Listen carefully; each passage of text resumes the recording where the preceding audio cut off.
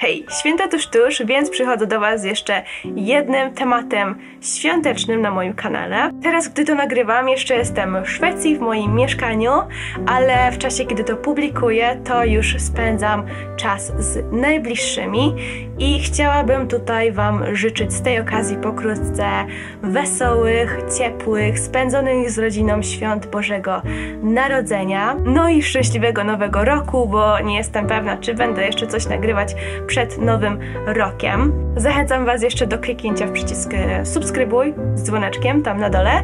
No i przechodzę do tematu, czyli o świątecznych szwedzkich tradycjach, no i jak one się różnią od tych polskich.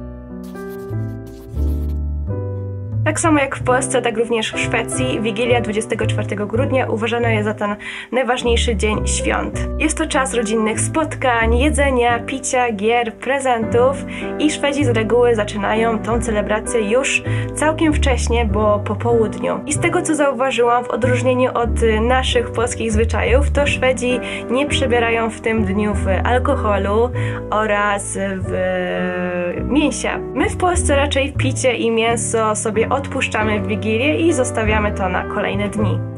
Po wigilijnym obiedzie nadchodzi czas na seans, no i w Polsce oczywiście kojarzy mi się to z Kevinem, który co roku na Polsacie o 20 jest puszczany i jakoś się to zakorzeniło jako tradycja. Nie wiem, przynajmniej ja nie mogę y, nie przejść mojej wigilii bez Kevina. Napiszcie w komentarzu, czy też oglądacie. No i w Szwecji też jest taka tradycja seansu godzinnego o godzinie trzeciej po południu, dużo wcześniej niż w Polsce, no bo oni już zaczynają e, ten lunch, obiad e, już godzinach popołudniowych, no i później jest czas na ten seans o godzinie trzeciej po południu, no i oni oglądają przez godzinę y, Kaczora Donalda, czyli Kale Anka po, po szwedzku. Ja nigdy nie byłam częścią tej tradycji, ale słyszałam, że jest to bardzo, bardzo zakorzenione w tej szwedzkiej tradycji wigilijnej.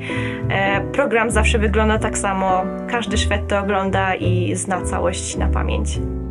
Wieczorem ludzie ponownie zasiadają do stołu na kolację, który często ma formę bufetu obładowanego pysznościami, które ja uwielbiam, a końcowo spędzają czas razem, na przykład grając w planszówki.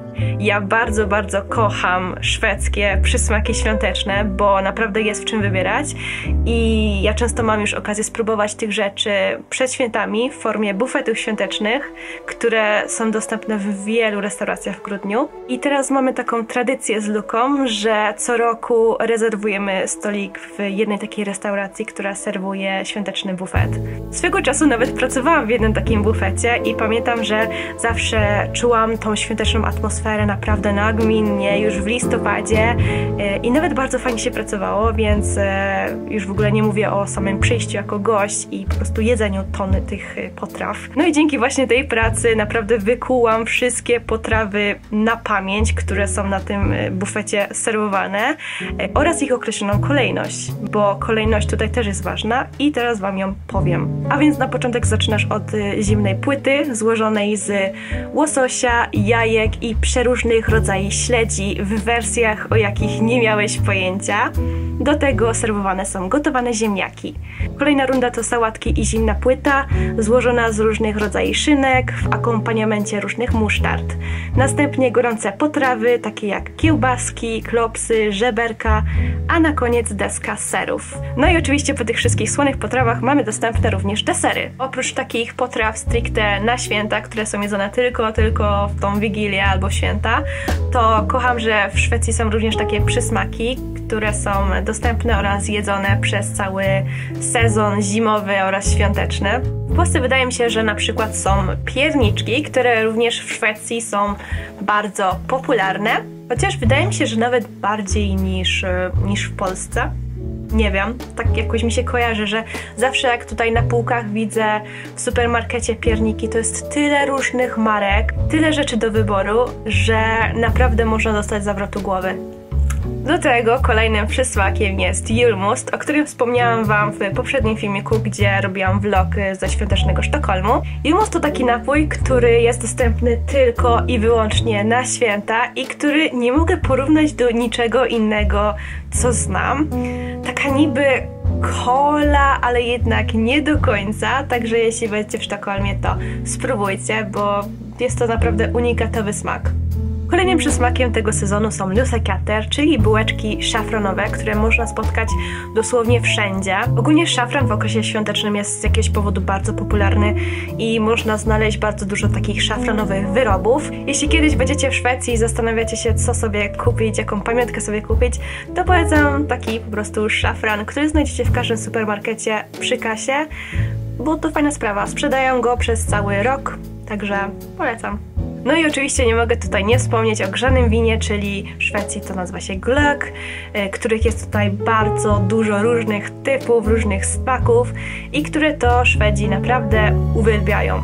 No i zazwyczaj piją to oni w takich malutkich kubeczkach z dodatkiem bakali. Nie wiem czemu bakali. W supermarkecie znajdziecie właśnie yy, taką paczkę Glögg Mix, czyli mix grzanego wina.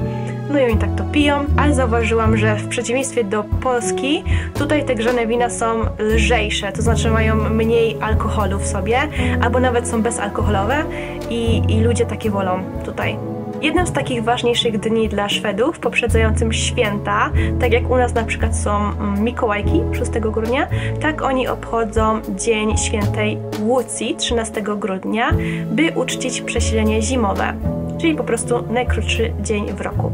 Jest to przeciwieństwo znanego bardziej Midsummer, czyli przesilenia letniego w czerwcu. Dzień Świętej Łucji również znany jest jako Dzień Światła i wiąże się to z procesjami dziewczyn w białych szatach, które trzymają w dłoniach świece, na czele których stoi wybrana Łucja, która również ma świecę na głowie. Wszystko to ma na celu przynieść światło zimowemu mrokowi i odstraszyć złe moce. Jest to jeden z powodów, dlaczego Szwedzi tak kochają światła i tak licznie przystrajają swój dom różnymi światłami i świecami. Obowiązkiem jest dosłownie postawienie jakiegoś światła w najlepiej każdym oknie swojego domu, ale zazwyczaj jest to albo papierowa gwiazda, mm, albo świecznik adwentowy. A tak prezentuje się moja gwiazda.